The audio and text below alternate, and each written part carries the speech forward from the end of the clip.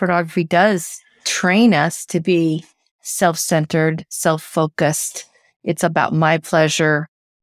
Over 50 years ago, uh, uh, a scientist named Tinbergen mm-hmm. did the whole butterfly experiment where he noticed that the male butterflies were attracted to the female butterflies, the markings on their wings and whatever. And so he made cardboard ones, but that were, that were super, super butterflies, right?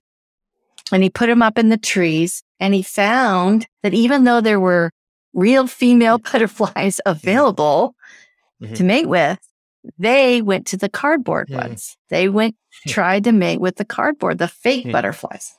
And we see this over and over with porn. You know, um, you become more attenuated. Sex becomes trying to mate with cardboard butterflies and with pixels on a screen. Welcome to another episode of Mental Health in the Age of the Metaverse. I'm your host, Christian Ulstrup.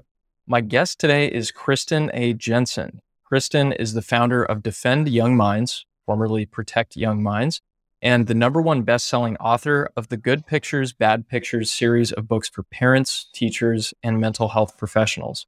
She is also the executive producer of the Brain Defense Digital Safety Curriculum, a powerful video-based course for families and educators. Kristen, welcome to the podcast.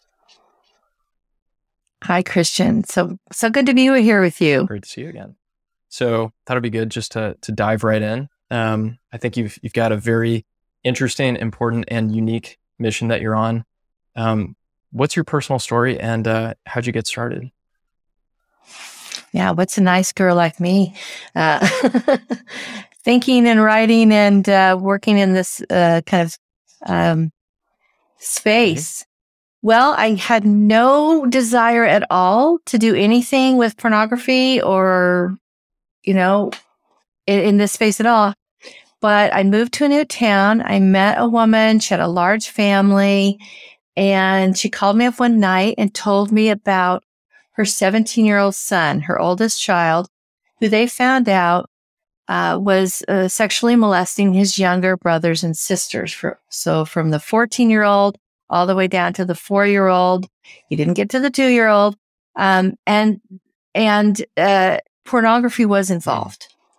And so I woke up the next morning and I just thought, what can be, you know, I just had this thought like beating in my mind like a drum, like what can be done to warn young children before they get involved into pornography mm. and have these terrible outcomes because this young man had to be separated from his parents, his family. And uh, thankfully, there was a program for him here in Washington state. Um, not every state has that. And, uh, but there were really some bad outcomes for some of the other kids in the family. So, um, anyway, I looked, tried to find a book because I thought, well, I'll buy a mm-hmm. book for because I have this belief that you know there's a book for every problem, right? And uh, or many. And so I thought, oh, there'll be a bunch of books on pornography and why it's bad for kids, and especially. And so I was looking and I couldn't find mm-hmm. anything. And I started to do some research and and I came to the conclusion rather quickly that this wasn't rocket science. It might be brain science, but it could be boiled down for a young child, six, seven year old uh, child to start to warn them about uh, some of the things they might run into uh, on the internet and how to respond mm-hmm. when they see those things. So that gave me the idea that, you know, when I couldn't find the book, I thought I'm going to write it myself. And I thought I could do it over the summer in a few weeks, but it took three years of research and testing and rewriting. Uh, but as soon as it came on, uh, it became a number one bestseller on Amazon. And um, then I then I was asked by parents to write a book for younger kids. So, good pictures, bad pictures, porn proofing today's young kids is for kids ages seven to eleven in mm-hmm. there. Although I've heard parents use it for older kids. Um, but uh, then I wrote one, uh, Good Pictures, Bad Pictures Junior, A Simple Plan to Protect Young Minds. That's a read aloud book as mm-hmm. well for kids ages mm, three to six, seven, eight. Uh, and, uh, you know, I've read them to my own grandsons. So, um, they just begin this conversation in a very comfortable way mm-hmm. so that parents can start that conversation, which ultimately is going to be very helpful and protective for their kids. Excellent. I think I think there's a lot to unpack here. Um, the I think one of the so in some ways this is nothing new. We were talking about this a little bit before, in that there's been erotic content through different media, really throughout human history. I mean, you can find, you know, old statues right, right from tens of thousands of years ago, but things have changed in terms of digitization of of content, access, um, all that kind of stuff. And so, uh, speaking personally, this wasn't much of a discussion that I had with my parents growing up, but clearly there's this this growing need that's being recognized by folks, including your customers, especially who are reading, buying, using the book. And it sounds like it started with um, you having some some intuition or noticing that there was a link between consumption of adult content at an early age, especially, and then that moving from the online world to having these really devastating, sort of catastrophic consequences in the real world. So that that link, I was wondering if you could unpack that a little bit, either in the context of what you had observed that got you started, or maybe more generally. Uh, yeah. So definitely. Well, um, just to go back to the books, I just want to say that there are three mm-hmm. purposes, mm-hmm. just to start yeah. off with, in the books. And that is to give kids a definition so they recognize it, but an age appropriate definition, to give kids a warning so they have a reason to reject it, and to give kids a plan so they know exactly what to do when they see it. So a, a definition, a warning, and a plan. And those are three things that are in both books uh, both good pictures, bad pictures books. Now, um, you, you talked about how this, this, you know, exposing children to pornography at a young age is, doesn't just stay in the digital world. It, it, it definitely bleeds over to the physical world. And I want you to think about children when they are young, they imitate adults. They have an abundance of what we call mirror neurons that help children imitate. That's part of the reason. There's other things that mirror neurons do, but part of the thing is they, they help children imitate and every parent will definitely recognize this in their children.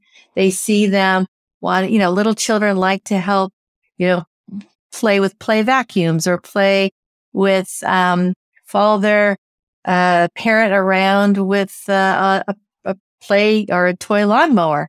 You know, they like to imitate, um, the actions of adults and also the phrases and the language and, and things. So we know this is true and this is how children develop. What happens with pornography is when they watch pornography, uh, they have unfortunately unprecedented access to it. And then they begin to, you know, many of them have um, a normal, natural, biological kind of push to imitate that behavior in in a physical way. And so they will find someone with who is more vulnerable, a younger, usually a younger child uh, in their family, in their neighborhood, uh, and and practice what they've seen. Um, and so this can have, like you said, devastating results on the family. Depending on the state you live mm-hmm. in, this child on child harmful sexual behavior um, can get a child registered on a sex offender list for life. Um, they can go to juvie. Uh, there may not be any programs for them. Just it's the luck of the draw, depending on what state you live mm-hmm. in.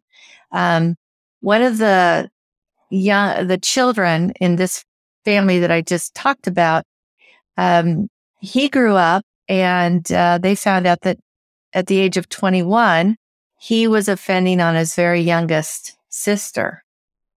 And um, he went to jail for that for six years, and there's no treatment in that state. Um, so, not only that, just the devastation it has on on the family relationships and the stressor and all that. So, you know, we talk about how pornography can become an addiction. Um, and that is really also has terrible, uh, you know, ramifications.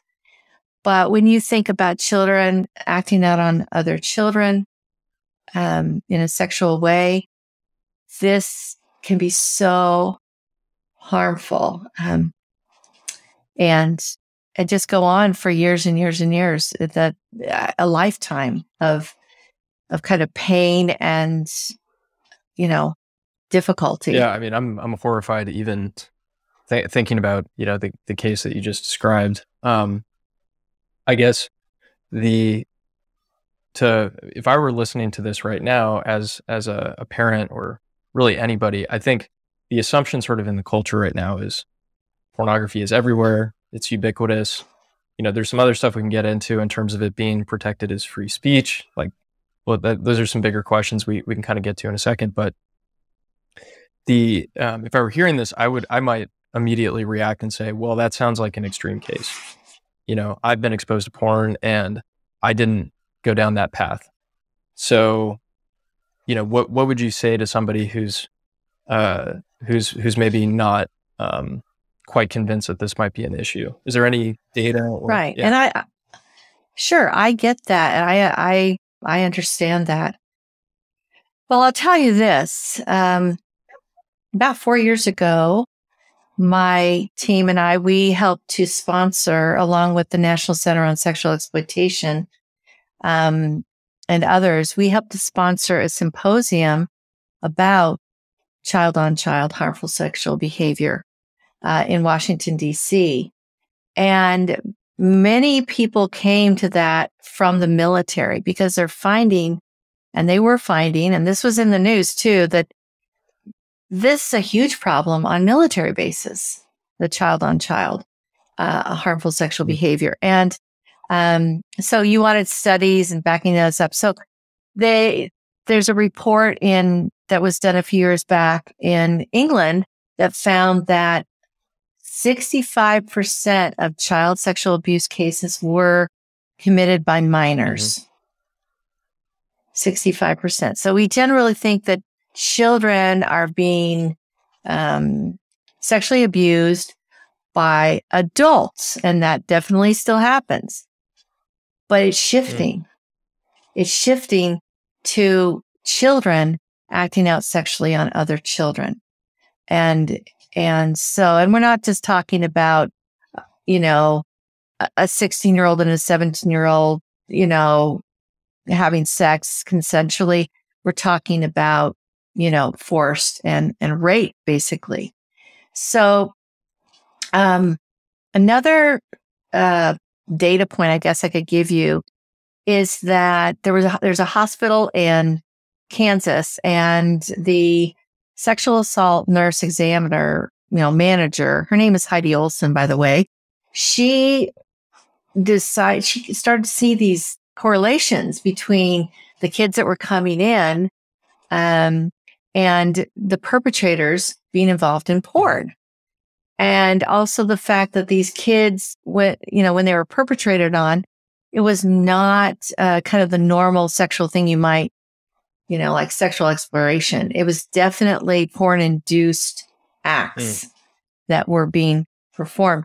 So she started to do a study to document, you know, uh, the perpetrators. Basically, they would ask, you know, the parent or whoever brought the child mm. in, you know, who did this. And in the cases where they knew, and that usually was the case where they knew, um, they would find out. And what they found out is that the average, eh, the largest group of perpetrators were, were males between the ages of 11 and 15. So, um, and again, they weren't just doing kind of normal things, they were doing porn induced acts.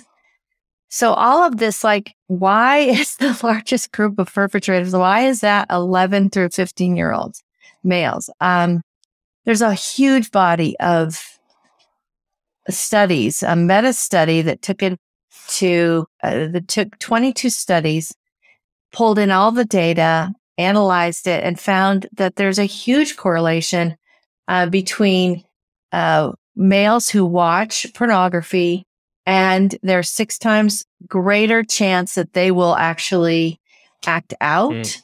uh, sexually really? or you know aggressively sexual aggression uh, on women so it uh, there's just a lot of harms of children be, having access to pornography it creates greater sexual aggression and there's study there's a lot of studies on that um, I've just been reading a book by John Foubert called Protecting Your Children from Internet Pornography.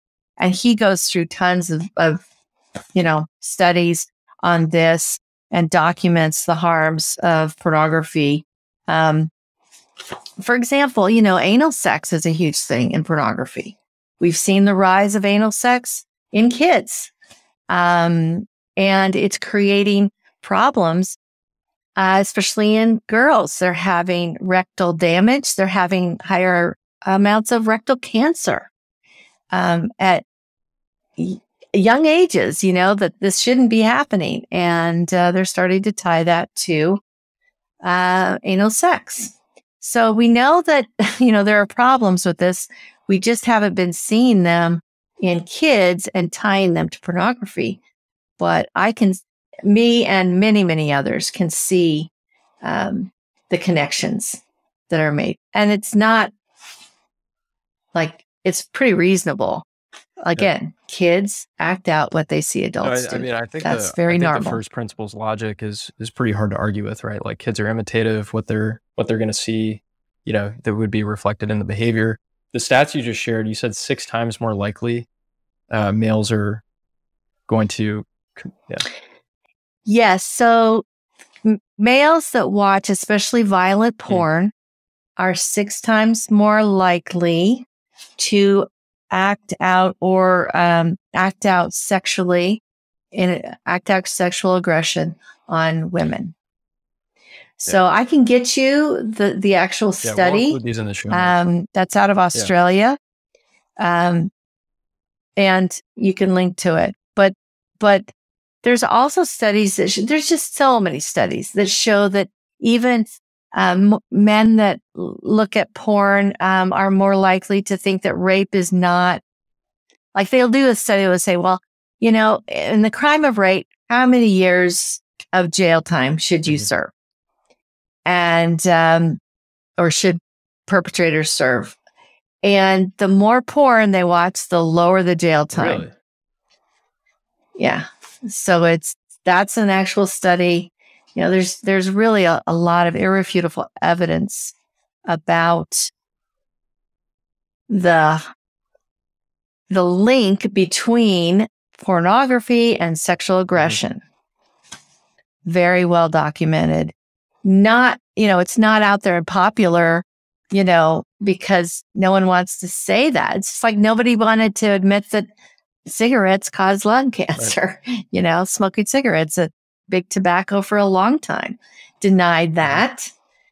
And it took thousands and thousands and thousands of studies before, um, you know, it caught the attention of uh, the CDC yep. and they had the hearings and then they put the warnings on the, and they wouldn't let them advertise, you know, uh, and uh, you know certain play like on television. So there's you know we're getting there. We're getting there. So can i can i play devil's advocate on just one point with the um uh, let's say like some of the studies that show the link between aggression and pornography consumption? How how is it? And this might be something where we have to link to the studies or uh, is not available at the moment. But the how do we know that there's a causal link as opposed to maybe somebody who's more aggressive is going to be correlation pornography? I've pulled together this five ways porn harms kids research mm-hmm. guide uh, probably about five years ago. So this is not actually new mm-hmm. research. Mm-hmm. Here's one thing. Kids emulate what they have seen done in porn. The impact of pornography on young people's sexual behavior has been most well documented with regard to anal intercourse. Anal intercourse is routine in representations of heterosexual sex in contemporary pornography, with various studies finding its inclusion in 15 to 42% of the scenes. Five studies uh, among Swedish young people find that young men who are regular consumers of pornography are more likely to have had anal intercourse with a girl and to have tried to perform acts they have seen in pornography and that girls who have seen pornography also are more likely to have anal intercourse. This is Flood, uh, Michael Flood from 2016. And then it actually can serve as, as what I say rape training. Quote, there is consistent evidence that exposure to pornography is related to male sexual aggression against girls and women. The body of evidence demonstrating this link is overwhelming with no fewer than three meta analyses now available. Again, Michael Flood. Um, a new meta analysis of pornography use and actual sexual aggression again demonstrates reliably, indeed undeniably, that pornography use increases the likelihood of perpetrating sexual aggression. This meta analysis of 22 studies from seven countries comprising over 20,000 participants finds consistent evidence that pornography consumption is associated with acts of sexual aggression in both cross-sectional and longitudinal studies. In a recent longitudinal study of U.S. youth aged 10 to 15, with three waves of data over three years, individuals who intentionally consumed violent X-rated materials were over six times as likely as others to engage in sexually aggressive mm-hmm. behavior. After controlling for other potential influences on the association, individuals who saw X-rated materials in which a person was being physically hurt by another person while doing something sexual were still twice as likely to report sexually aggressive behavior in the past year. So it sounds like then both both things there's both a correlative like there's an association and maybe some lurking variable which is you might this is somebody for whatever reason is just more aggressive and so they're more likely to pursue this kind of content but also act out in real life. But then the last part i heard is there because of it there's this kind of uh, reinforcing potentially like the hypothesis would be that the content is reinforcing the offline behavior to the point that did you say they were twice as likely when controlling yeah they were still so after controlling yeah. for other potential influences yep. right they were still twice as likely to report sexually aggressive behavior in the past. Now, that doesn't mean that everybody that watches violent porn is going to go out and be violent, but you start to accept because in pornography, women look like they're enjoying this behavior. They're enjoying being choked, gagged, you know, and many other, uh, you know, pretty despicable acts. And so young men get this idea that well, this is what women want. This is what they expect. This is what they like. Uh, it's not, it doesn't take, you know, I'm not the brightest candle on the cake, but I can figure that out. You, I can see the connection, um, why this would happen. And you hear a lot of anecdotal stories of men that were choking women. And when they got charged, they're like, well, I thought she would like that. hmm, maybe not. So uh, that that's that there are just so many studies and but they don't get out a lot of these don't get out mainstream because they're not the narrative yeah so that, that was a point i was going to go into is just like i think it's you know having if you really thought about everything that you just shared as as a sort of rational um di- you know dispassionate kind of person you may not be compelled that you fully bought the idea that there's a strong causal link quite yet, but you should at least be open to asking the question. I, I don't see how you can avoid Absolutely. that. And so I think I do think it's interesting that um, there is seemingly so much resistance to to asking these kind of questions. And you mentioned the narrative. I'm sure there's some other kind of interesting pieces and parts, but why why does it feel like this is swimming upstream? Why is this such a difficult topic to to broach? Yeah, because people associate pornography, pornography use with some kind of like sexual being sex positive. I think it's being sex negative Mm. actually, because it teaches children these negative, toxic sexual sexual scripts that don't lead them to having really healthy sexual relationships or relationship when they are older. Um, it just prematurely sexualizes them and then gives them this toxic sexual script uh, about what sex Mhm. is. And, um, you know, they've also done studies about the content of, of pornography and, you know, how much, how, you know, the percentage of scenes that are violent towards women. And, um, I'm thinking of two different, you know, one that's older said 88% of the scenes were violent towards women, whether that's, uh, you know, verbal or physical aggression. Um, but when you mix sex and violence, that ups the dopamine in the Mm. brain. So men will start watching kind of like vanilla porn and then they'll quickly go to, you know, a more deviant kind of porn because it becomes an addictive process and you're always having to up the ante to get that same level or close to that same level of arousal. And, you know, we're talking about earlier how, you know, there's always been pornography, you know, you, you see it, uh, ancient Chinese paintings or whatever, you know, you, you, you see pornography. Yes. But that's not the same animal. It's nothing even like what kids get access to on the internet. Um, and it's, you know, what we're seeing now is full color streaming video and endless novelty, which again propels addiction, endless novelty. The brain loves novelty. I mean, if there's one thing that you can have endless novelty, it's porn. Uh, and so that seeking, you know, dopamine is that seeking molecule. And so there's just endless amounts. I mean, I've, you know, even on reels on Instagram, Sure. you know, I'll get sucked in, you know, from one to the next. And then my brain just loves, oh, what's the new thing? What's the new thing? What's the next new thing?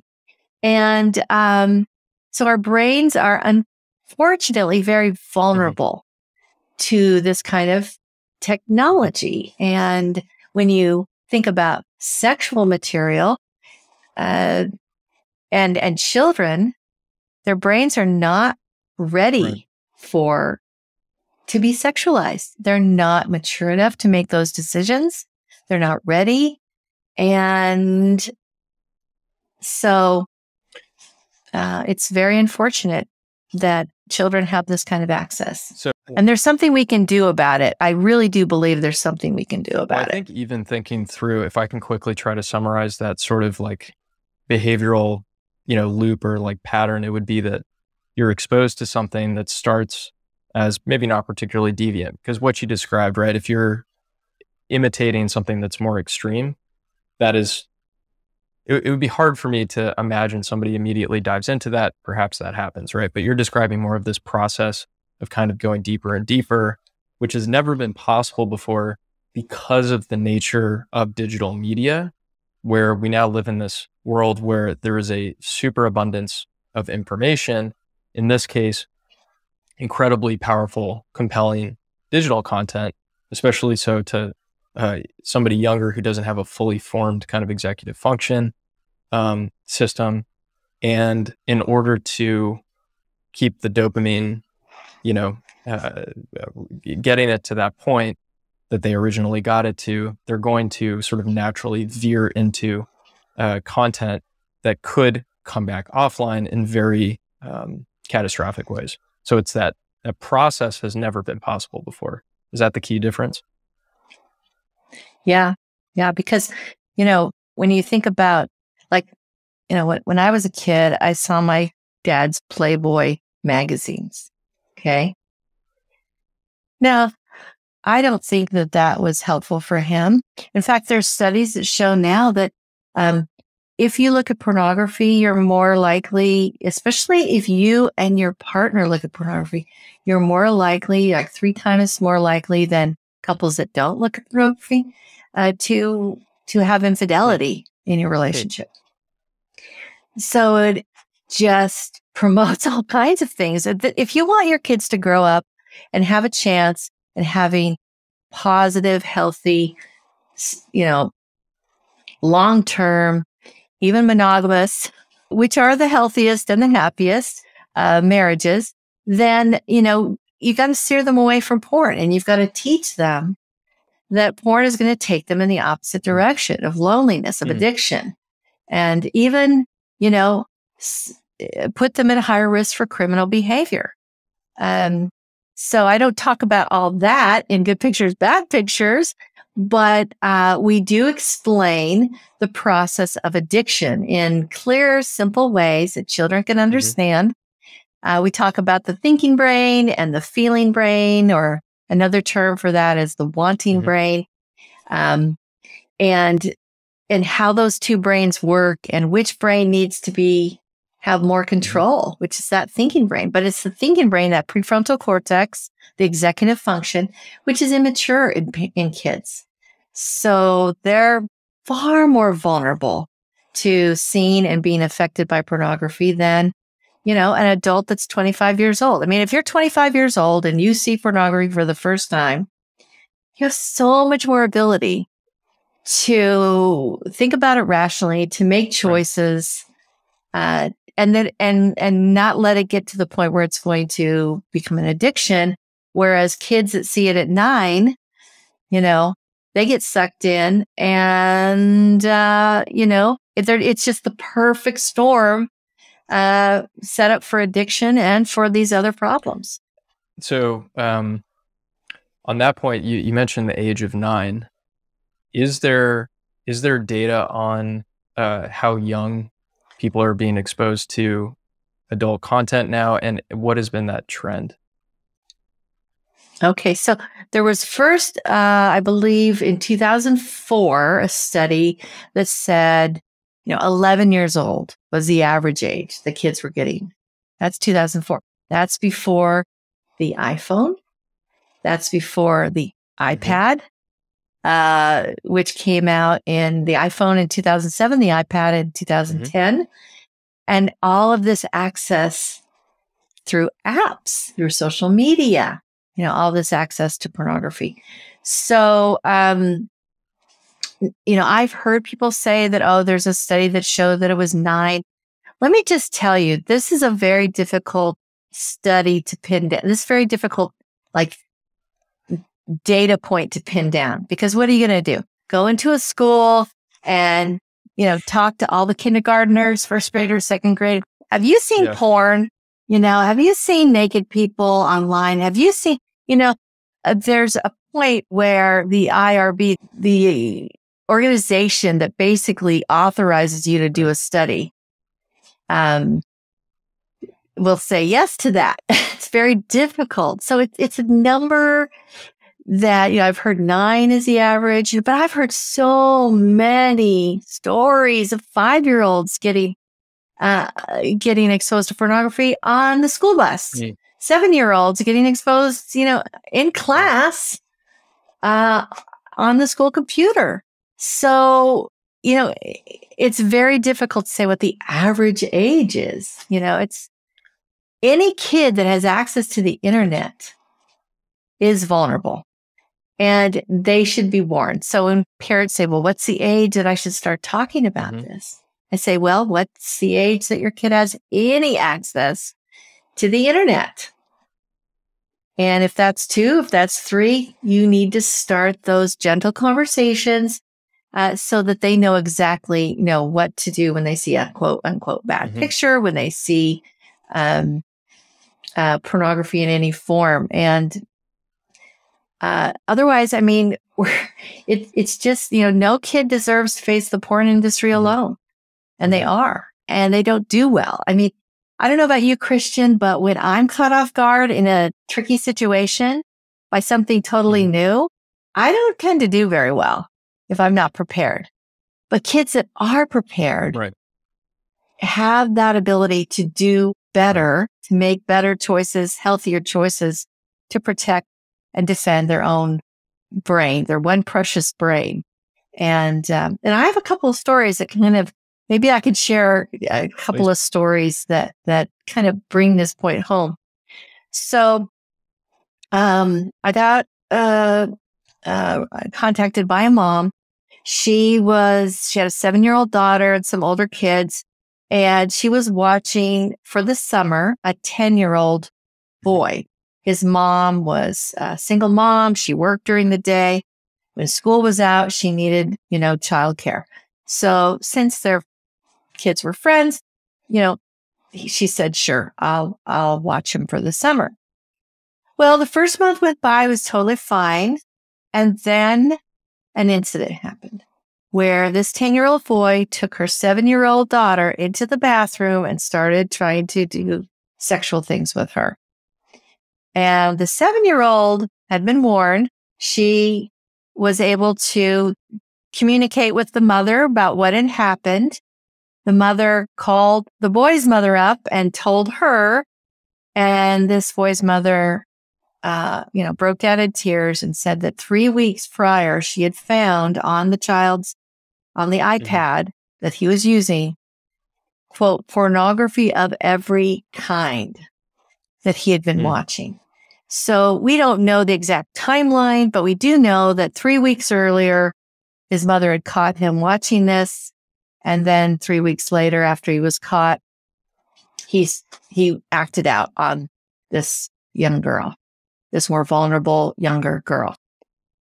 So that's one case where you can see, um, you know, and this is an anecdotal story, obviously, but the, uh, but, but if you talk to, for example, if you talk to therapists, if you talk to people who work in child advocacy mm-hmm. centers, and those are the people that help, you know, children who have been physically, sexually assaulted, um, you will find that they know that they see this correlation, that they see this tidal wave, you know, coming and how it is fueled by pornography. Um, but then another story. So another story, another couple mm-hmm. stories. A six year old, uh, went, went with his family to a friend's home for dinner. And, um, because this family was doing some, uh, remodeling, they had set, they put all this the kids' toys down in the basement, right near the the stairs. And so this the kids were allowed to go down, pick up a toy, come back up. So he was down there, you know, looking for a toy, trying to figure out which one he wanted to play with, when a man who actually lived down there was renting came up to him, you know, with his cell mm-hmm. phone and his smartphone and showed this boy um, pornography, uh, gay porn, and um, said, Hey, this would be fun to do. And it was starting this kind of grooming process. Uh, this little boy knew exactly what it was. His mother had read him good pictures, bad pictures. He recognized that's pornography and I should be looking at it. And I know exactly what to do. Um, he turned away. He ran upstairs. He told his mom. Now, lots of kids get exposed to porn by perpetrators and they don't do that. They don't run immediately to their parent and tell because they haven't been taught to do that. But this boy was taught to do that. And I have so many more stories like this, but I just tell you that one that the kids that are warned about pornography uh, because there's such a link between porn and child sexual abuse um, that they are safer uh, from abusive situations and know how to kind of nip those in the bud to get out of there and, and keep themselves safe. Um, one more story. A nine year old, uh, his mom read him good pictures, bad pictures. So he knew what pornography is, why it's harmful, what to do when, when he sees it. Three days later at school, uh, a classmate, uh, when they're on the playground said, Hey, look at this and showed him pornography on his phone. And this child went home. Um, he knew what it was. Mm-hmm. he recognized it. He wasn't caught off Mhm. guard. Of course, he was surprised by it, but he, he knew what, what was happening. He went to his mom and told her and said, you know, I was scared, but I knew what to do. You know, I was scared, but I knew what to do. So I don't know what kind of porn this kid was being shown, but it was scary Mhm. to him. And he knew what to do as a result of being warned. So that's my message is like, talk to your kids early, give them a chance. There's so much evidence that if kids don't know, um, what they're dealing with, they won't, they won't tell their parents. They just won't. Um, uh, I had one parent tell me that, um, her kids, she went to pick them up from a play date. Another child was showing them a phone in the front yard. They got in the car and she goes, Oh, what was she showing you on her phone? And these kids who had not yet been warned just looked at each other. They didn't even know how to describe what they'd seen. And so they said, uh, she was showing us a My Little Pony video. Well, months later, when this mom got a hold of good pictures, bad pictures, read it to her kids, they said, Mom, she wasn't showing us uh, My Little Pony. She was showing us pornography. And they lied because they simply didn't have the vocabulary or the Right, right. permission to talk about this. And so we need to give kids a vocabulary. We need to give them the Hmm. permission to be open because this is a myth. If you think your kids are going to look at pornography and then come right to you and tell you, um, and tell you what they saw, uh, there's just no evidence that that's going to happen unless you open that conversation first. So it sounds like the um, having that proactive conversation is is really the first step, and I want to couple that too with what we talked about in terms of seeming seemingly decreasing age of first or potential first exposure. Again, it makes sense kind of intuitively because of the um, you know uh, uh, spread of technology. I, I will say anecdotally, I do remember when we, one of my co-founders and I were looking at some of your content and we did some research to see, you know, like what is that first age nowadays? Because we're we're 30, we grew up with technology, like we're kind of on the the um, beginning of this wave. And I seem to remember there was something that was relatively up to date that said like, you know, 40% or 50% of 13 year old boys had been exposed to porn at some point. And we both immediately looked at each other and we're like, that's just, that's just completely false. It is 100%. It is 100%. Yes.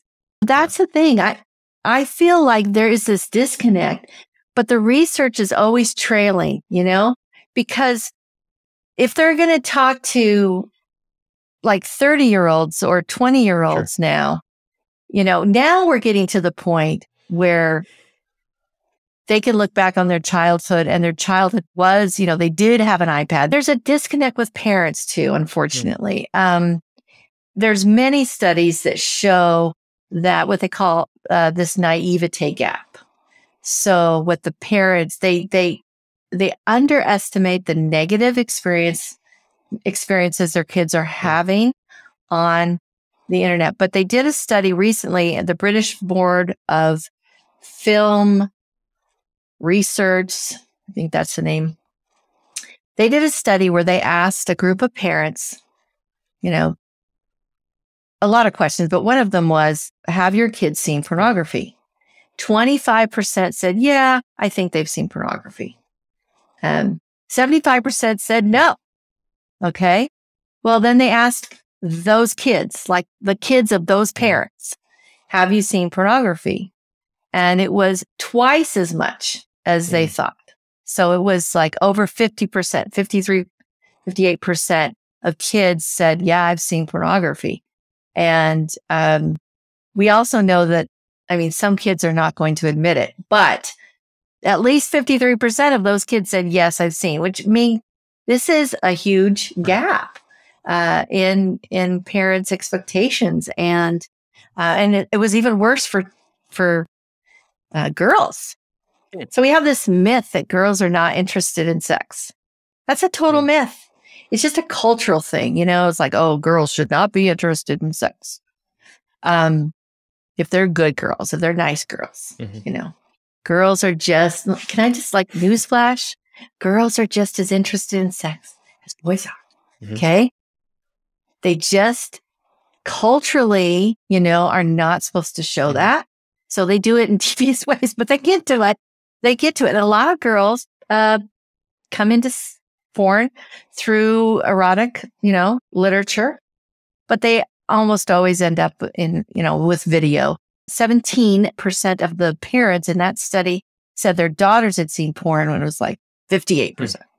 So again, we need to be aware, more aware of what our kids, and I know it's hard because you don't want to think about right. this.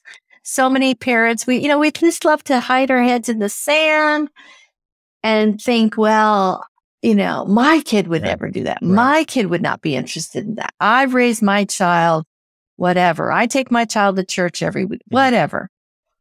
No, if your child is a biological human and has access to yeah. the internet, your child is at risk for seeing porn and being negatively mm-hmm. impacted. Mm-hmm.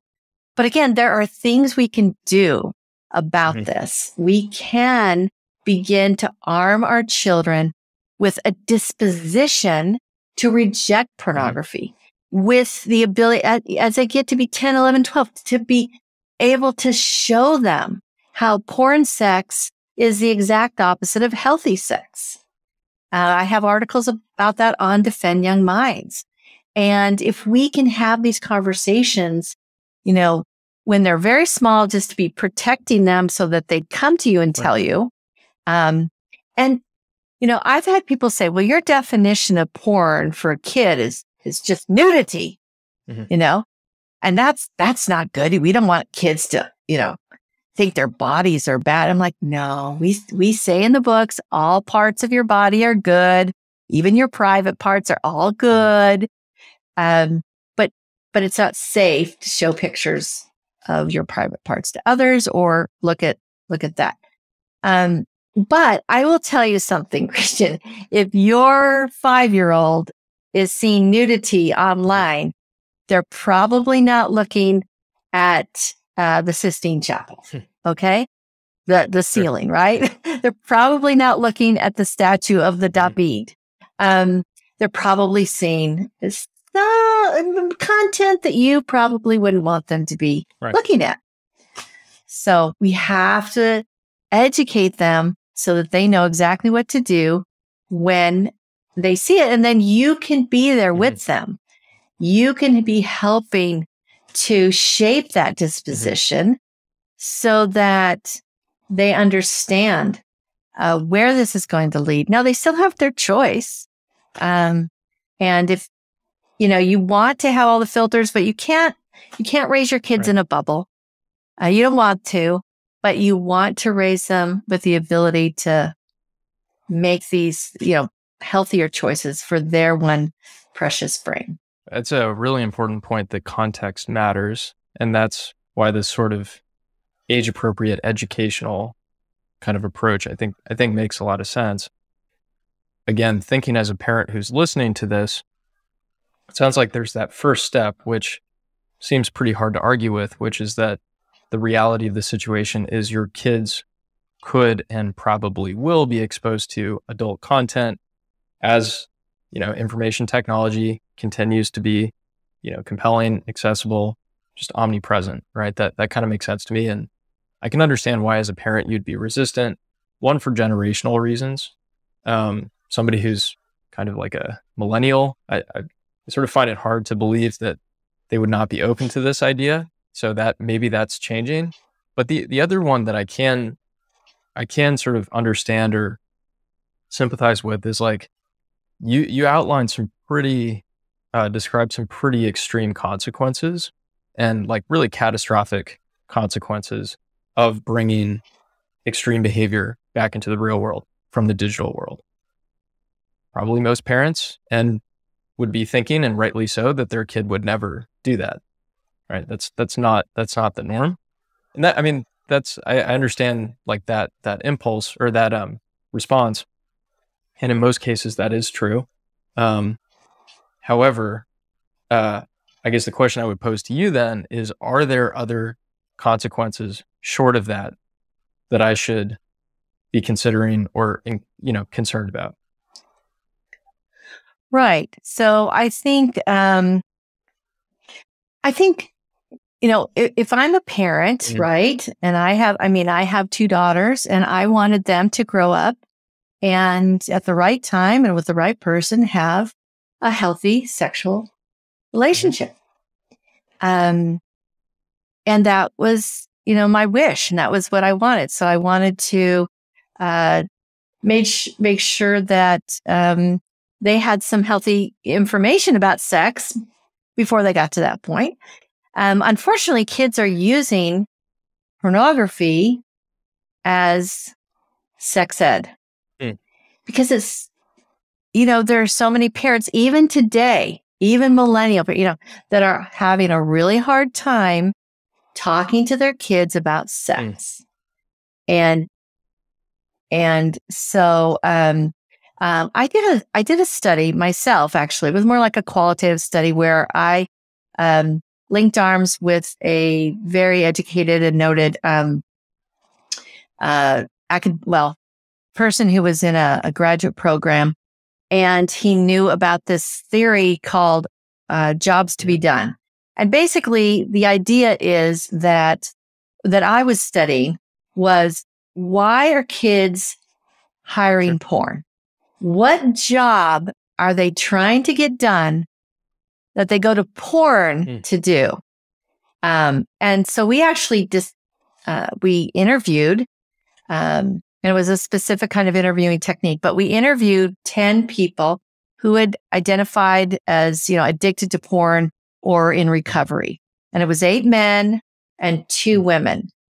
And the one thing, and we identified seven different jobs that they hired porn to hmm. do for them.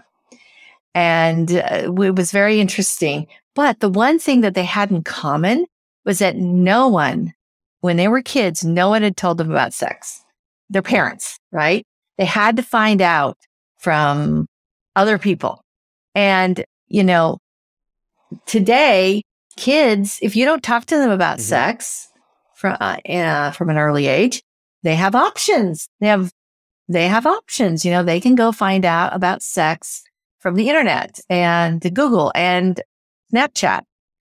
Um, heaven forbid that your child has Snapchat, but, um, so much, so much grooming going on there, so much uh, predation of children, sex sexploitation of children going on in Snapchat, but and Instagram. But okay, so getting back to some of the, you know, lesser, you know, let's say your child doesn't act out on another child. Um, but there's also studies that show that children that, especially girls that look at pornography, are they're kind of like groomed, right? So they're more likely to be sexually mm-hmm. active mm-hmm. at younger ages and be willing to uh, engage in uh, more risky behaviors. Um, so that's one, you know, mm-hmm. problem. Let's talk about uh, so so this idea that that pornography will hijack their sexual scripts. Mm. Pornography will teach them about sex in a way that is very unhealthy and that does not lead them to having healthy relationships, stable marriages, um, or even the ability to relate to, you know, if you're a man to relate to women in ways that are not mm. objectifying, right? Um, we talk about objectification a lot when we talk about pornography. And I just think the word objectification is not like it needs to be always followed with or, you know, linked with dehumanizing because objectification is dehumanizing. When you look at a person and they're just a compilation of body parts, right? Um, that, you know, that is dehumanizing. And if you teach your brain um, to dehumanize women or men and and make them just objects, you know, I te- in in the book, Good Pictures, Bad Pictures, we talk about this on a very age appropriate way. But you know, if you have an object like a ball, you can kick the ball. Ball is not going to cry, right? Um, ball is not going to be hurt. But if you kick your friend, you know, they might be, they would be hurt, uh, and they, and physically and emotionally. So I think that, um, this objectification and, and it's teaching kids to objectify themselves, to dehumanize hmm. themselves, hmm. to think that their only worth or their greatest worth is in how they look, not, you know, their contributions to society, not their intelligence, not their wonderful sense of humor, uh, not their ability to show love and kindness. That's your goal. Then pornography, you know, you don't want pornography to be a, a big influence on your children. Do you think there's any merit to the argument that porn is good? Uh, I've looked at this and um, I think if you go deep into the foundation, deep into the the kind of the philosophical orientation of what pornography does mm-hmm. for people, um, I would say mm-hmm. no, because I think it's a counterfeit. Yeah. So, what? Why do you watch pornography? You watch pornography to get sexually aroused, or maybe to learn how to have sex, or to learn what to mm-hmm. expect um, in sex, right? Well, I've already talked about how that is, you know, teaching kids like the wrong thing. I think it's it's very toxic uh, way to look at sex because so much of pornography is um, mm-hmm. misogynistic. Mm-hmm. It's so, uh, you know, women getting choked and gagged and, um, you know, other really degrading acts. Um, I don't know how much you want me to get into this with your audience. I would be happy to describe some of those. I generally don't because I talk to parents and I don't want to like totally freak them out. But um, it gets, it gets sure. really bad and disgusting. Yeah. Um, and nothing that you would think is going to lead to a healthy, happy sexual union. Why do you go mm-hmm. to porn? It's to get sexually mm-hmm. aroused. And there are so many men that say, I can't even have sex with my wife or my girlfriend without having a porn loop, right? I become mm. dependent mm. upon mm. porn to sexually arouse me. I can't, and this leads to the whole sexual dysfunction. Uh, so this porn tying a few years ago to this big front, you know, cover article on why men are trying to quit porn because it's led them to sexual mm-hmm. dysfunction. And they've gotten so addicted, so topped out that now their brain can only arouse them sexually with because porn is a super stimulus and they can only be aroused by the super stimulus the normal kind of sexual arousal that you would get with a normal, you know, maybe even be, your your wife is beautiful in every way, um, but she, you know, you can't like uh, get aroused or get an erection with her, um, but you can with porn, and that's called porn-induced erectile dysfunction. And there's more and more light being shown on that. And that's one of the, another reason why pornography is a public health crisis. I think that, uh, you're, and there, there's a lot of uh, statistics showing that pornography among, I mean, erectile dysfunction among young men has ballooned like a thousand percent in a 15 year period. Yeah. So it used to be like maybe like, you know, men in their 20s and 30s, you know, maybe 2% of them had erectile mm-hmm. dysfunction. You know, now it's ballooned to like 30%. Now, erectile dysfunction in older men is a vascular mm-hmm. problem. Now, there are some young men that are definitely overweight and it could be a vascular problem, but generally, um, we, you know, what they're finding is, um, it's also a, por- it's a pornography problem because you really can get, and Gabe Deem and a few others have really, um, spoken out about this and they have groups, uh, on Reddit groups and they have, uh, websites that help men, you know, basically stop masturbating to porn and to get their uh, ability to have a sexual relationship back with their wife because it's devastating. If you have a girlfriend wife whatever that that you can no longer have sex with because uh porn and that that can be pretty devastating to mm-hmm. the man and to the you know to the relationship so so there's that there's a there's sexual dysfunction, um, most noted in men, but I have seen now evidence, or I have now heard of it in women as mm-hmm. well. So um, I, I, just feel like there's no. Good. so back to the question: Is pornography? Can pornography be mm-hmm. good? Um, I, and you have people say, "Well, wait a minute. There's this female-friendly porn." I just wrote about this on on Defend Young mm-hmm. Minds. See, I really feel like the best sex, the most healthiest sex is within a mm-hmm. relationship mm-hmm. where you love the other person. what a concept. Where you're thinking about their, you know, their pleasure mm-hmm. and where you want to do for them. And it's this wonderful bonding experience. Yeah. Um, and I think that is the best case because that's real. That's real. Now you have people watching porn, having sex with robots, uh, with VR, right? And they have like devices hooked to their genitals so that it can be coordinated with the VR and what's happening uh, in that. And it's such a fake yeah. thing. Um, you can't like I don't know. I've been sick and my husband takes care of me. um, my husband's been very mm-hmm. sick and I've taken care of him. I mean, I pretty much saved his life, I think. Um, and so, you know, you're not going to get that with the digital relationship. I don't think that because porn is about performance. You are watching a performance. It means sex is a porn says sex is all about mm-hmm. performance. Mm-hmm. Okay. That's how it sets it up. That's what it teaches your brain. It's about your performance.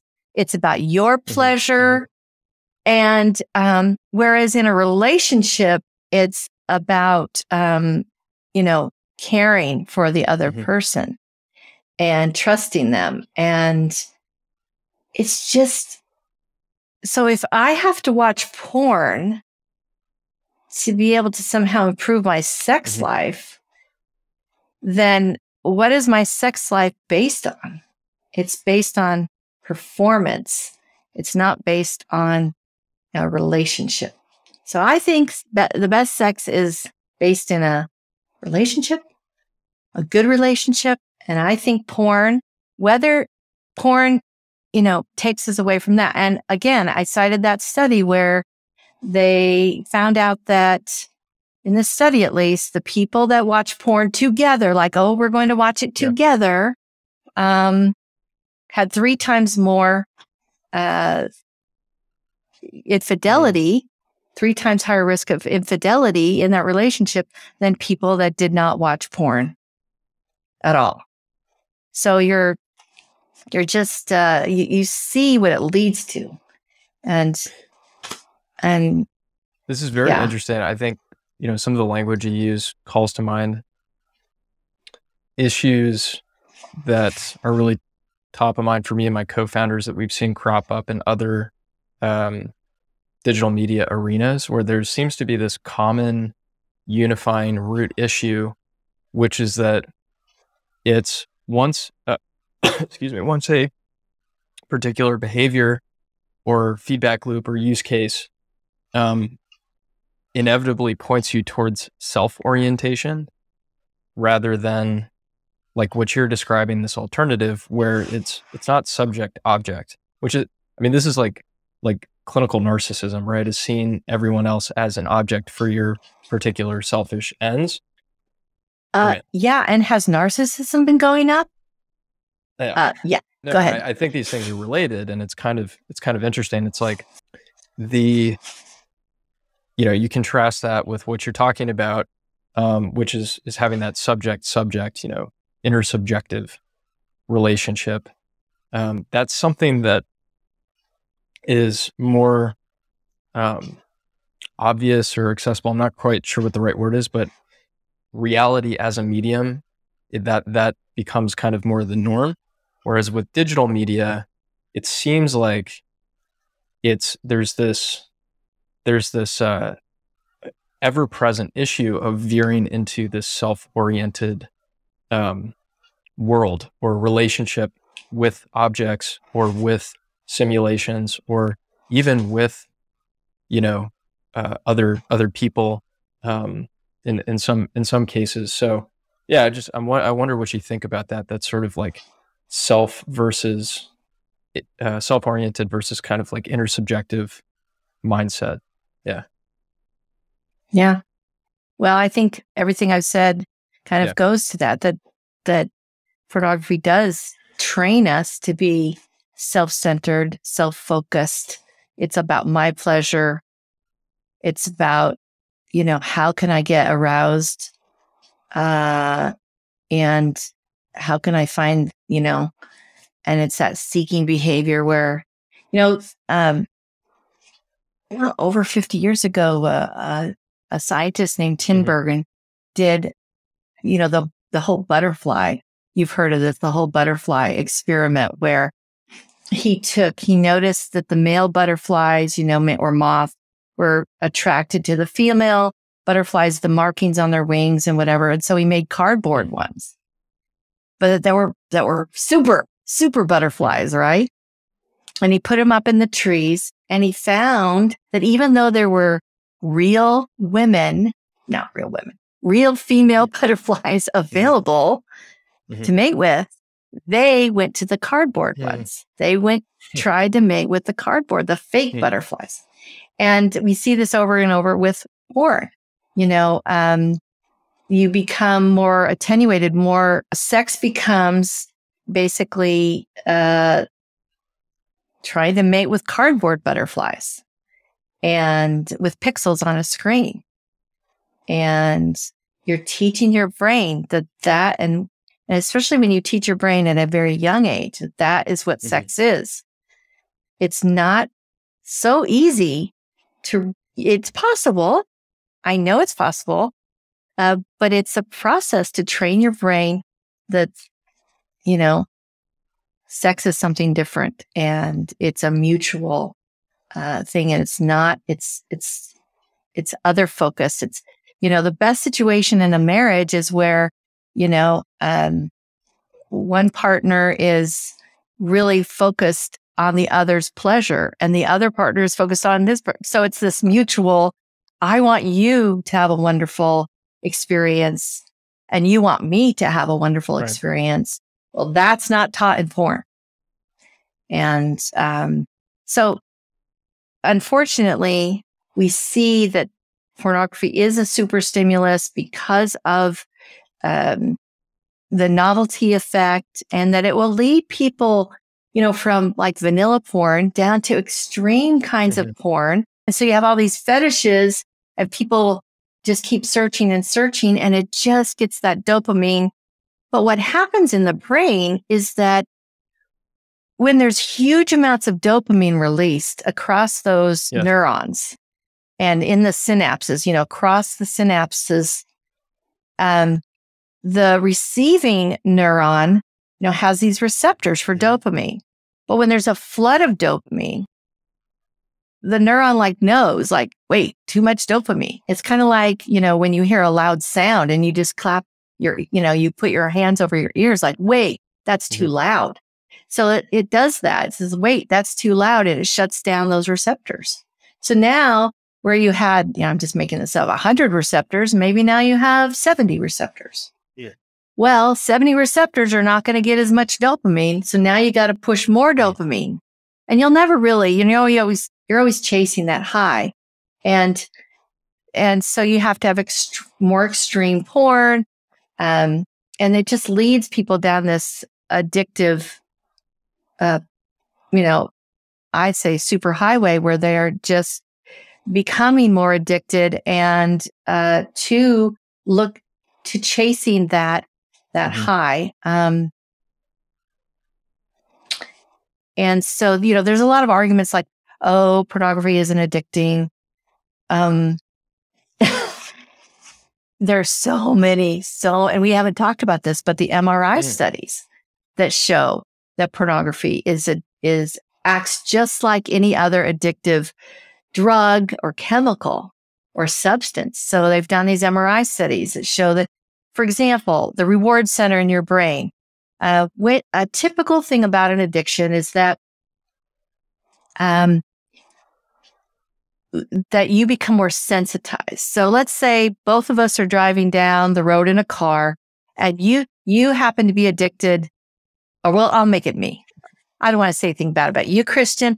Uh, I'll just let's say I'm the addict. Let's say I have an addiction to alcohol, and we both see a big billboard and the billboard is advertising, you know, vodka or whatever. Let's say it's advertising my favorite alcoholic beverage. Well, your brain probably won't really react mm-hmm. to that. The reward center will not really light up. My brain will be like a Christmas tree. Wow, you know, oh man. And so you become sensitized to uh, sexual mm-hmm. cues, much more sensitized. And then um, and so they've done studies, at, at functional MRI studies, where they can see the brain lighting up the different areas of the brain. And they can tell that when you show uh, someone who's addicted to porn or uses it compulsively, mm-hmm. heavily, you know, daily, whatever, versus someone that doesn't use it very often, um, they see those same patterns uh, the brain of the pornography, the compulsive user or the addict lights up, um, and the the healthy individual doesn't. Um, they've also seen it with uh, anticipation. Again, there's so many studies that show that pornography acts like an addiction, just like you can get addicted to gambling. Mm-hmm. You know, it's uh, you can get addicted to behaviors. Um, the American uh, the American Society of Addiction Medicine, ASAM, uh, in like 11 years ago. They rewrote their definition of addiction to include behavioral addictions. So they, they said, yeah, you can become addicted to alcohol and cocaine and meth and even food, right? Sugar, whatever. Uh, and you can become addicted to gambling, shoplifting, mm-hmm. and sexual things like porn. So, uh, it's coming to be where you can see it's just this mounting studies showing that pornography addiction is real. Yeah. It, is real. it makes me think of um there's a there's an interesting thinker uh named Terence McKenna uh who was he's he's really out there kind of guy was um into like psychedelics and like all kinds of wild stuff. But he was he was uh, very much like a um, would think a lot about the future of of technology and what it was going to mean for the 21st century. I think he died in the late 90s, but um, he had this interesting quote about you know in the future, uh, computers will become drugs and the drugs will become computers, and sort of in anticipation of there being some kind of you know digital experiences, digital information could be so compelling that somebody's own experience or even what you would see, like you said, in the functional MRIs and everything else, it, there's really no difference versus uh, smoking or snorting or injecting something, you know? Um, yeah. Yeah. And it sounds like that's, that's, uh, um, you know, some of, unfortunately, what we're seeing sounds like crop up in, you know, both the, uh, I think we've talked about the qualitative and anecdotal data, but also in, in some of these studies and whatnot.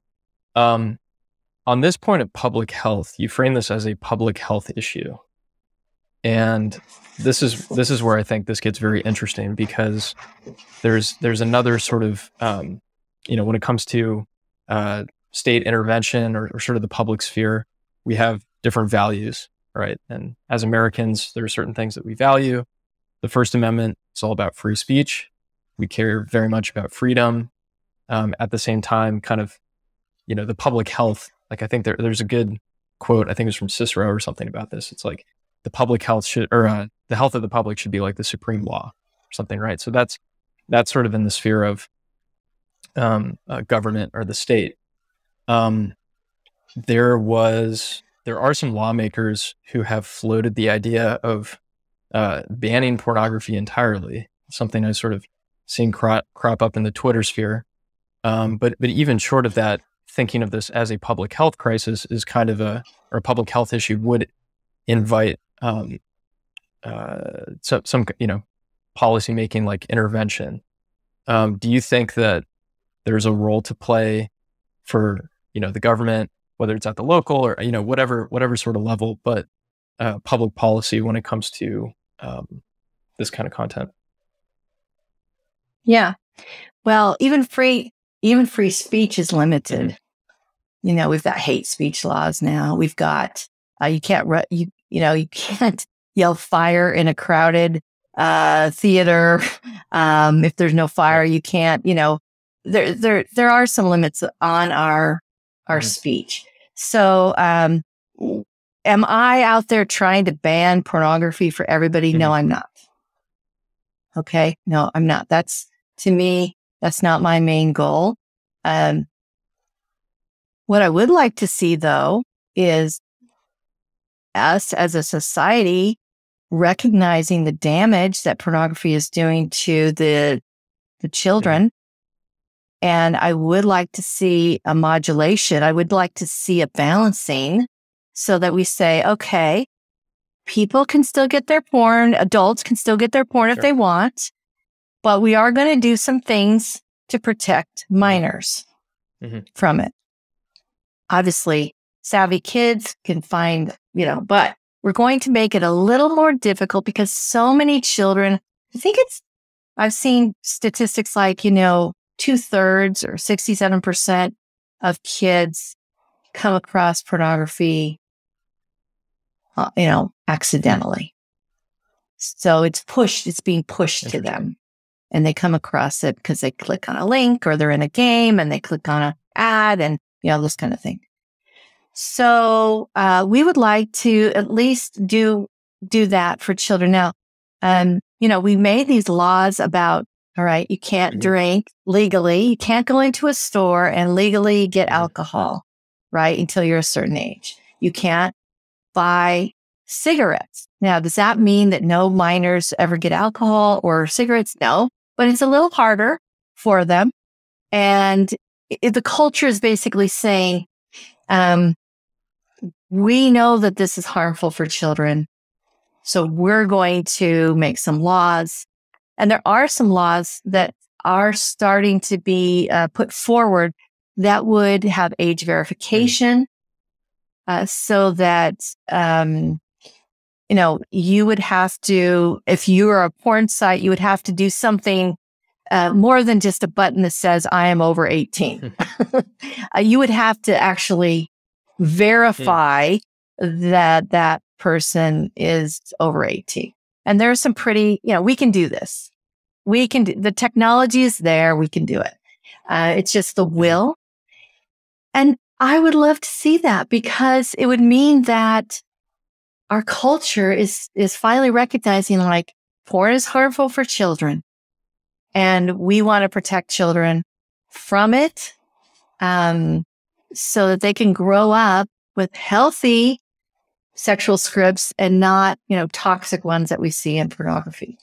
Um, I would love to see the adults in this country say, you know what, I'll, I'll give up a little bit of my, um, or I'll, I'll jump over one little hoop, uh, so that children, you know, to get to my porn so that children can be protected from mm-hmm. it. And I would love to see our society recognizing how important um, I mean, we're going to face a tidal wave of of re- we already are uh, repercussions from children accessing pornography, and um, we're going to continue to see these, you know, the skyrocketing amounts of child on child, the harmful sexual behavior, like we talked about. We're going to start to we're going to be seeing the addiction uh, issues. I mean, it, we're already seeing that 50 to 60% of marriages that break up, uh, one of the major factors that they, you know, say is part of their breakup is an internet addiction, internet addiction mm. to porn. Uh, so when you see, when you talk about public health crisis, when you see that pornography is one of the major factors contributing to mm-hmm. divorce, mm-hmm. um, I don't know about you, but my parents were divorced. And um, then, sub, you know, then I got s- step parents and then they were divorced. I mean, I grew up with divorce. And I'll tell you, it was not, it's not a healthy thing. It's not positive for right. children. Uh, but yet, here's something that is really contributing to divorce. Um, and that is uh, pornography addiction. So, um, freedom of speech. Yeah, sure. I love it. But uh, at some point, we have to protect the children. Let's at least protect them from pornography like we protect them from cigarettes. You know, so, let's at least do that yeah, much, so you know, make it hard for them to get. A little bit. Um, because that's, that, that I think is very interesting because it's like you had um, people for a long time thought that smoking cigarettes was not a problem. Um, but you also that it was good for, your, for throat. throat. right? Doctors, doctors lied, whatever it is, right? Um, so that that's interesting though because there was in that case there was a significant industry. Same thing is true for gambling and and um, you know alcohol, so called like vice vice industry or vice industries or whatever. Um, in the case of pornography, I'm realizing I'm actually personally basically completely ignorant of the uh, economics or um, kind of the business of it, is there an analog or an equivalent of like big porn that you're up against? Absolutely. Really? Absolutely. Um, so, you know, used to be pornography was sold, you know, in magazines, sold in like, you know, VHS tapes, you know, and there are some people that argue that all this technology, VHS, VHS tapes, CDs, DVDs, whatever, I mean, DVDs, not CDs, um, was developed to actually spread right. pornography. Um, I wouldn't argue with that. Um, but um, you had to go and get it. And, but now with streaming, it changed the whole business mm. model. So there used to be this business model of you had to like directly pay mm. for it. But now it's all on like tube mm. sites where you can get it for free, but there's all this mm-hmm. advertising.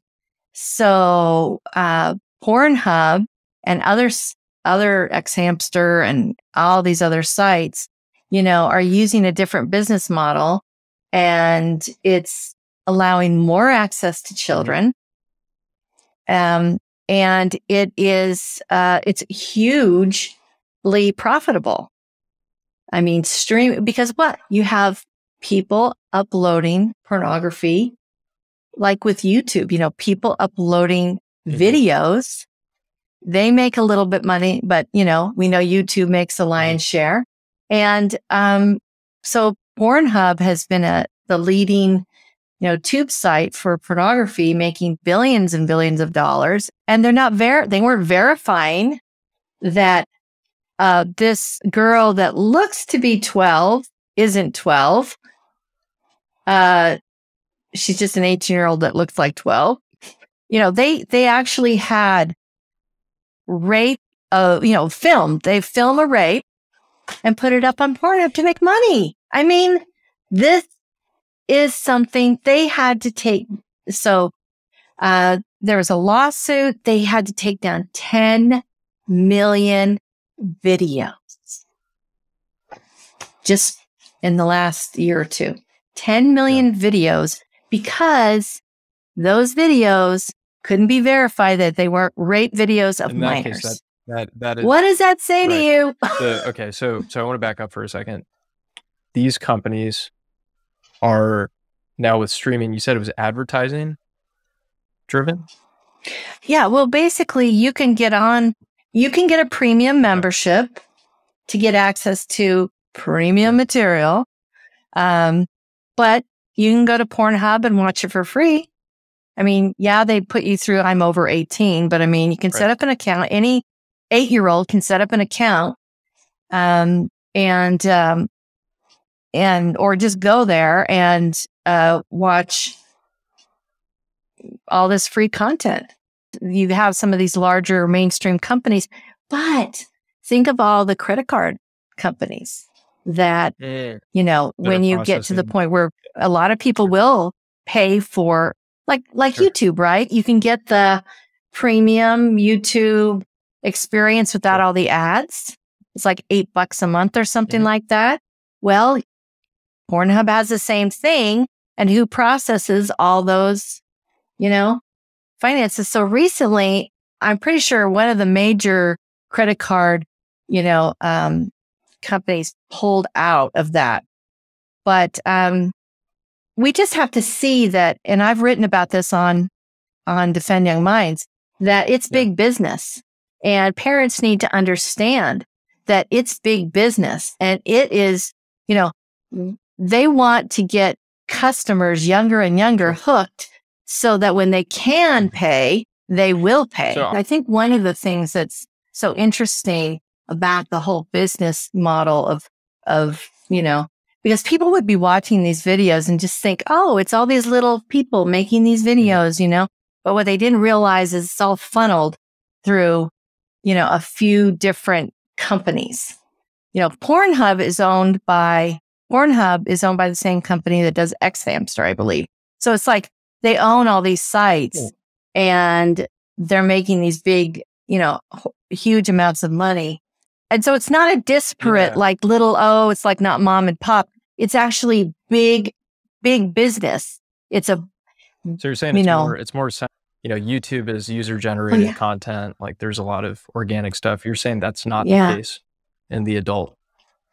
I'm saying that the money is being made by a few companies.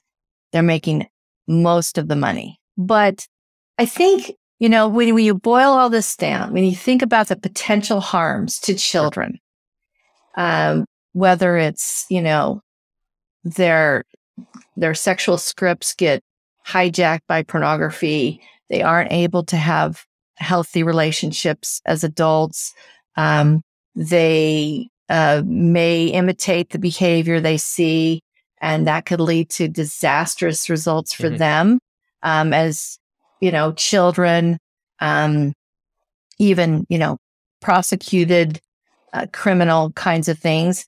Um, you know, the risk is just too large. So we need to, you know, we can't just keep handing our children the phones and the iPads and everything out without some digital right. training, without some digital safety right. training. I mean, you would, I bet your parents didn't hand you the keys to their new car or any of their cars when you were 10 and say, go take it for a spin, have fun, you know, check it out, explore, right.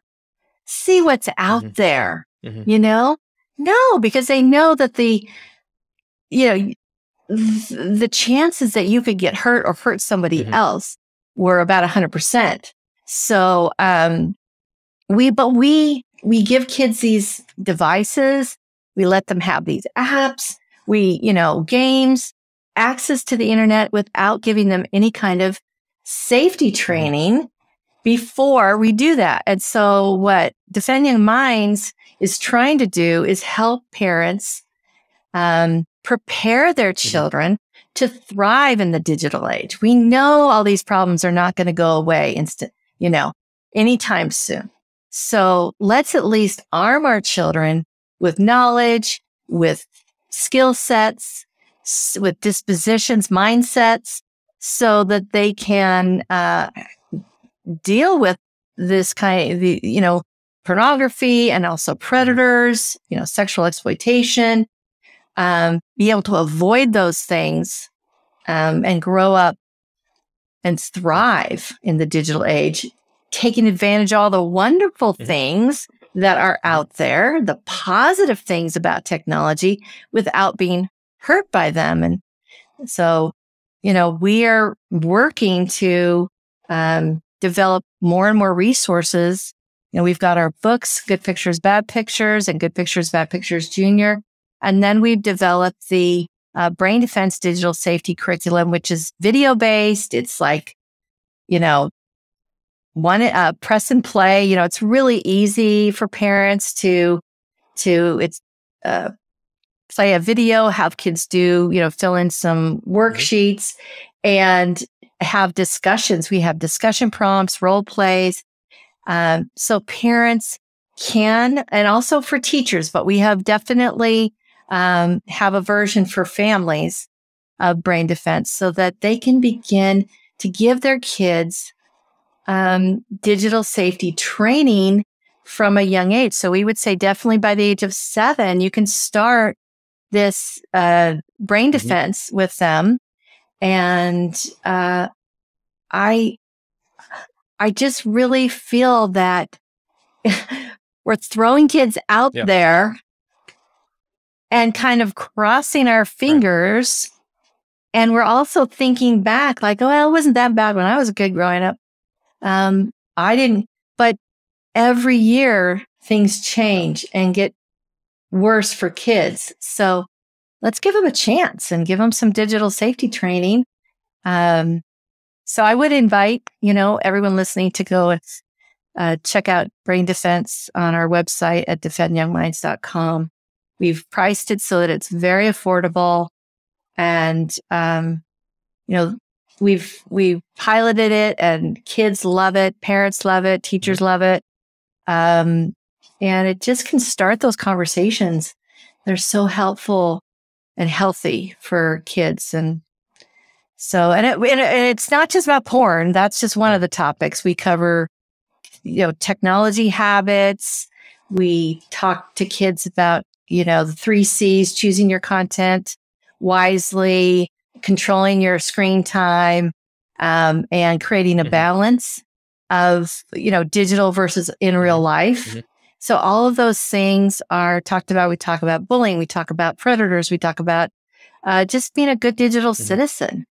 And so all those things are in uh, brain defense and uh, curated and based upon the best science available uh, to back it up. So Awesome. Yeah, and I know you put brain defense. years, years and years of work into Yeah. that. So the brain defense curriculum we're gonna link to, and that's for educators and also for parents. Um, in addition to obviously you have those books. One one thing I wanted to call out too, I you know really caught my attention was you you mentioned that you changed the name of the company from uh, Protect Young Minds to Defend Young Minds, which I thought was very interesting. yes. And yeah, I, I, I'm curious if you could elaborate on that a bit. So, yeah, protect is a great word. Parents love the word Yeah. protect. We all want to protect our kids. But uh, I was always, there are a lot of people that kept saying, yeah, but you really can't protect kids. They're Mhm, going to see mhm. it. I'm like, yeah, but what I mean is protect them from the ill effects by educating them, Mhm. da da da da. da. And uh, I had so many parents also start to write and say, I tried to protect my kids, but I couldn't.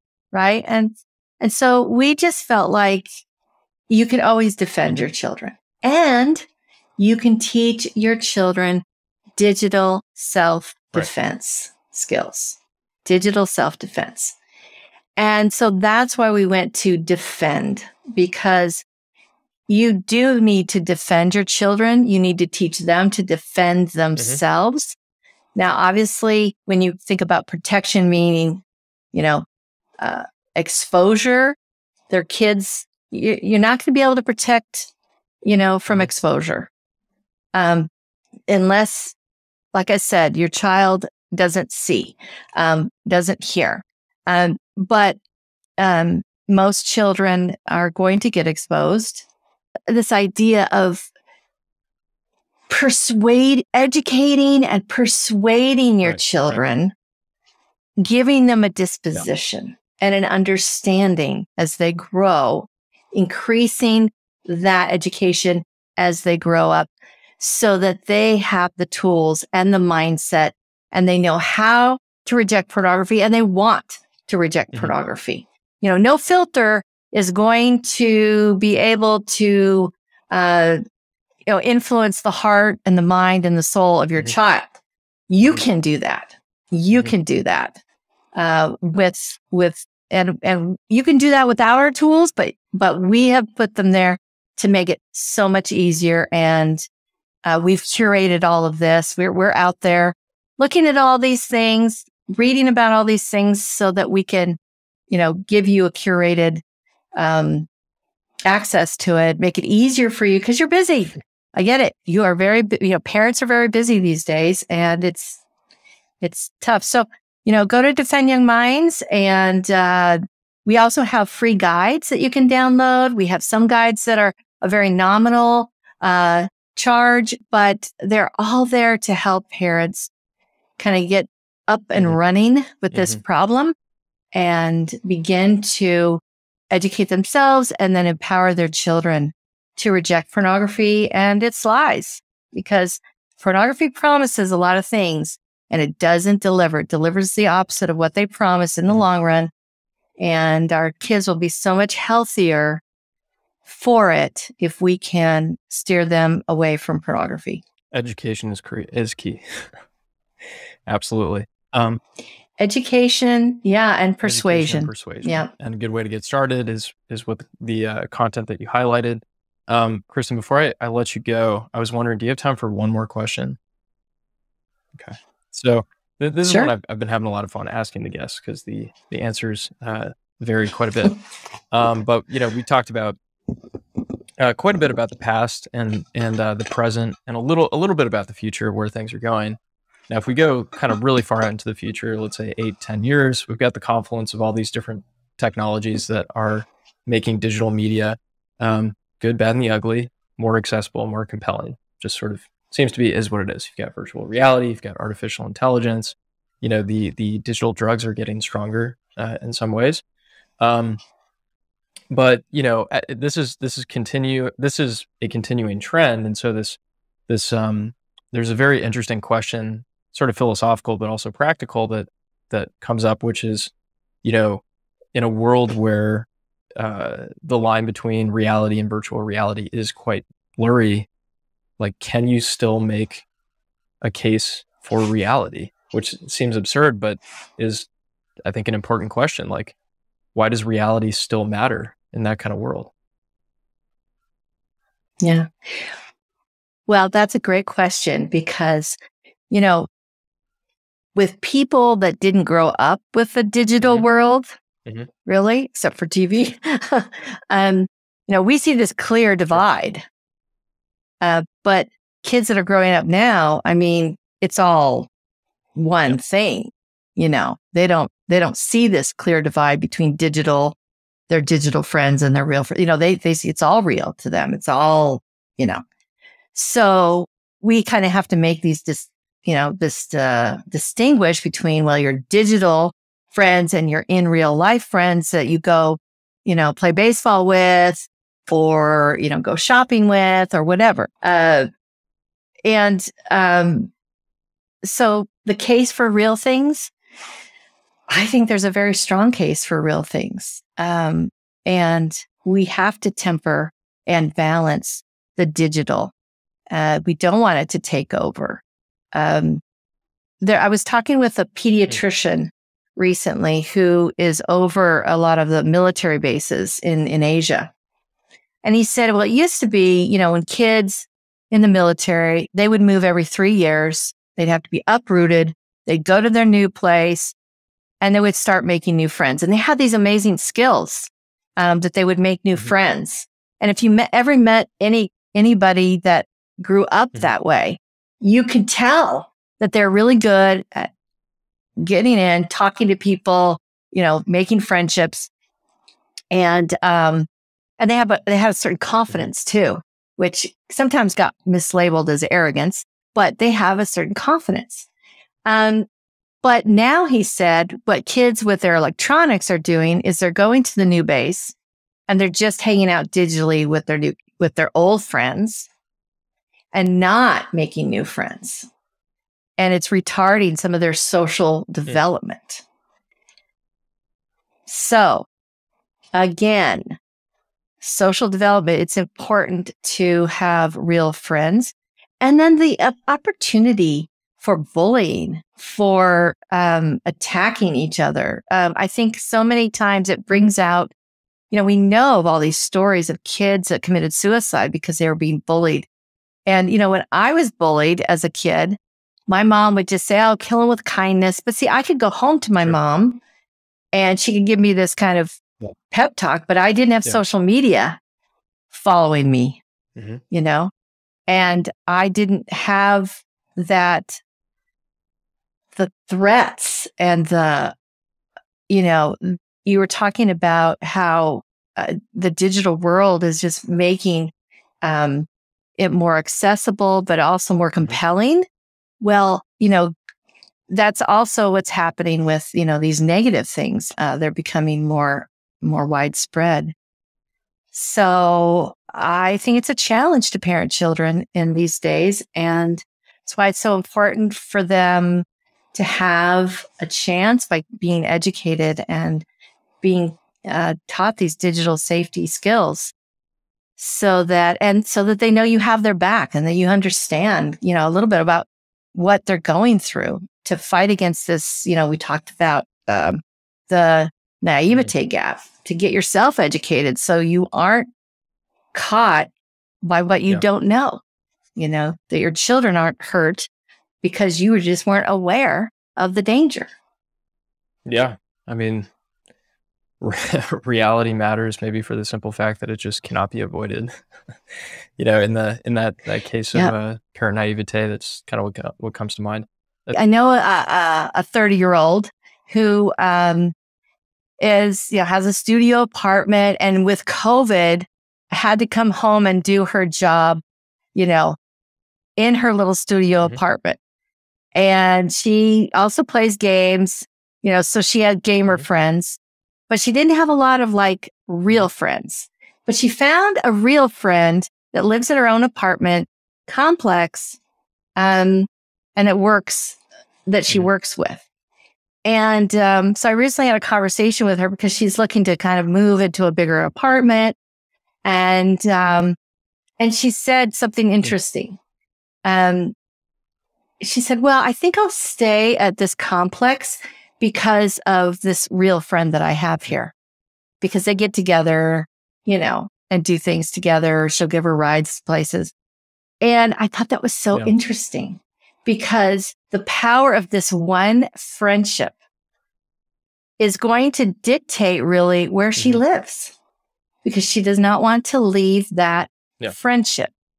Um, and, uh, you know, I saw that as a positive thing for her that she had this friendship and, um, that she still want, you know, wanted to be close to this, uh, this friend and, and help her out when she needed help. And so, um, yes, real things matter. Real people matter. People that we can be together with in, you know, physically, you know, that, that all matters. Not to say that, you know, I work with people that I've never met in mm-hmm. person. And I feel like I have some kind of a relationship yep. with them because we meet so often. But, um, you know, would, if I could bring them all together uh, in my town and we could all just work from an office, yeah, I'd actually, I'd actually uh, like that, mm-hmm. you know. So there's awesome things to technology. And I never want to like be one of these like, oh, disband all technology. But I would say that, you know, if there's one thing you might want to consider doing with your family um, or for yourself is just doing a, a, fast, like a digital mm-hmm. fast mm-hmm. where you kind of, you know, for like yeah. seven days. I know of people that go like 30 days, you know, that would be hard for me, but um, I've done it for mm-hmm. seven um, where I've, uh, well, especially with social mm-hmm. media and the effects are so positive. You know, they have teens that do this and they're like, oh my gosh, I love it. They go out to these wilderness things and they, they, they really feel this, their, their mental health mm-hmm. improves and they feel unburdened.